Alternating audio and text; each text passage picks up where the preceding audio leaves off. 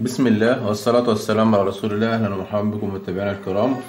طبعا الفيديو بتاع النهاردة هنعمل فيه تركيبة. التركيبة بتاعتنا هتبقى في نفس الوقت مضاد سموم ومطهر معوي ومضاد للكوكسيديا ومضاد للكوليستيريديا تبقى بأدوات بحاجات محلية وهتبقى نتيجتها فعالة. بس أهم حاجة نلتزم بالجرعة بتاعتها.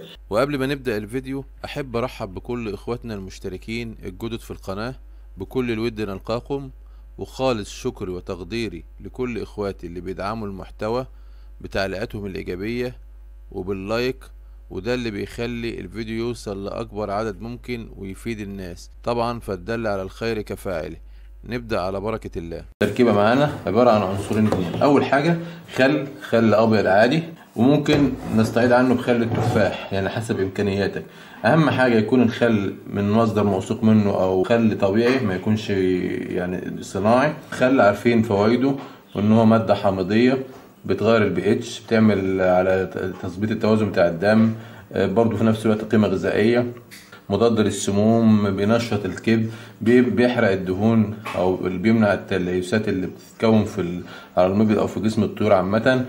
مطهر للجهاز الهضمي.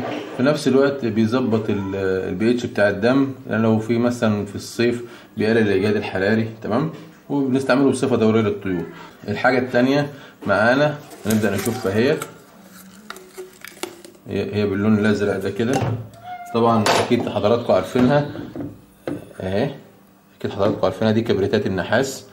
كبريتات النحاس أو بيقولوا عليها الجنزرة دي بتيجي من عند البيطري. يعني سعرها مش غالي ممكن عشرة جنيه ولا حاجة تجيب كمية كبيرة. كبريتات النحاس طبعا عملنا أفردنا لها فيديو هنا على القناة وقلنا فايدتها وقلنا إن هي مادة قابضة مطهرة للجروح.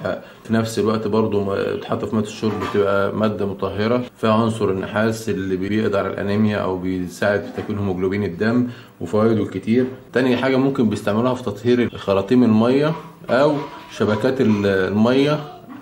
اللي هي سواء في مزارع الدواجن أو في الحمام. دي أفضل من الكلور وأفضل من أي حاجة ما الصمامات. تاني حاجة بتزيل الرواسب ومطهر قوي جدا وبيستعملوها أيضا في تطهير خلايا التبريد.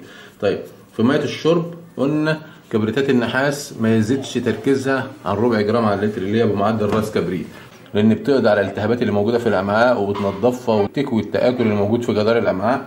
طيب أنا دلوقتي عايز أعمل تركيبة وقائية يعني مفيش مرض ولا حاجة.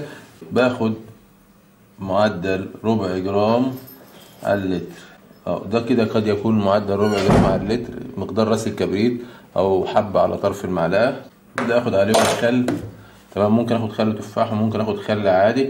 باخد قد إيه خل؟ 3 سنتي على اللتر. طب لو هو في لا قدر الله دور أو مرض ممكن آخد 5 سنتي خل على اللتر. أنا عارف المعيار بتاعي 4 سنتي أو 5 سنتي خل كمان اهمت تمام؟ خلاص يعني تتقلب كده وبكمل الكمية ديت بحط على لتر مية وأقدمها للطيور.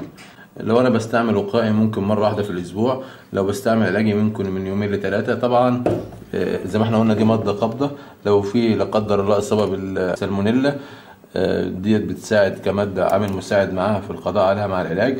بالإضافة كمان إن هي بتوقف نشاط البكتيريا. كمان لو في تدلي في الحوصلة بتاعة الطائر ساعات بتبقى الحوصله دي بتعمل كمادة قابضه أو الطائر الشره لشرب المية دي بتقلل من عملية شرايح شرب المية أو بتقضي على البكتيريا بتعمل التهابات بتخلي الطائر يعني إيه يبقى عنده شراهه لشرب الماء فالتركيبة ديت كويسة جدا هي بتبقى هي بالشكل ده كده بكملها بقى لتر المية. ده بيضاهي يعني مركب بدون ذكر أسماء عشان ملوش شهرة مركب بيطري غالي جدا للقضاء على الكوليستيريديا طبعا ده يعتبر مطهر قاتل البكتيريا قاتل الفيروسات في نفس الوقت يعتبر قيمة غذائية. ما زودش الجرعة كده عشان ما يعملش تركيز سم للطيور عندي.